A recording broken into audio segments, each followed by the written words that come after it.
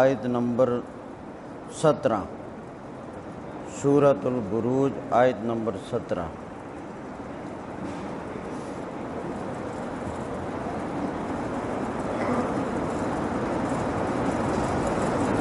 الحمد للہ الحمد للہ وکفا وسلام علی عباده الذین اصطفى اما بعد فاعوذ باللہ من الشیطان الرجیم بسم اللہ الرحمن الرحیم هل اتاک حدیث الجنود؟ فرعون وثمود، بل الذین کفروا فی تکذیب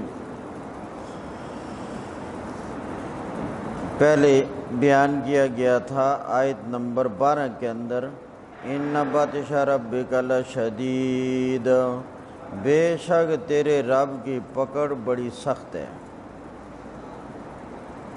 اس پر ایک نمونہ پیش کیا گیا حل عطا کا حدیث الجنود کیا آئیے تیرے پاس بات، خبر، واقعہ، لشکروں کی علاقت کا؟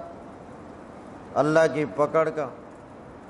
فرعون و ثمود یعنی فرعون اور سمود فرعون پر اللہ کی پکڑ آئی سمود پر اللہ کی پکڑ آئی۔ بل الذین کفروا، بلکہ کافر لوگ، فی تکذیب جٹلانے میں مصروف ہیں۔ واللہ اور اللہ تعالیٰ من ورائہم۔ ان کے پیچھے سے محیط گھیرے میں لینے والا ہے۔ یعنی اللہ کے علم اور اللہ کی قدرت سے خارج اور باہر کوئی نہیں ہے۔ بل ہوا قرآن مجید۔ اور جس چیز کو یہ لوگ جٹلاتے ہیں، وہ تکذیب کے قابل نہیں ہے۔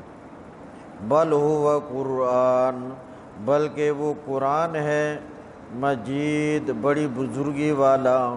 اور بڑی عظمت والا، فی لوح محفوظ، اور لوح محفوظ کے اندر موجود ہے۔ وہیں سے اللہ تعالیٰ نے نازل کیا آسمان دنیا پر مقام بیت العزت کے اندر۔ صورت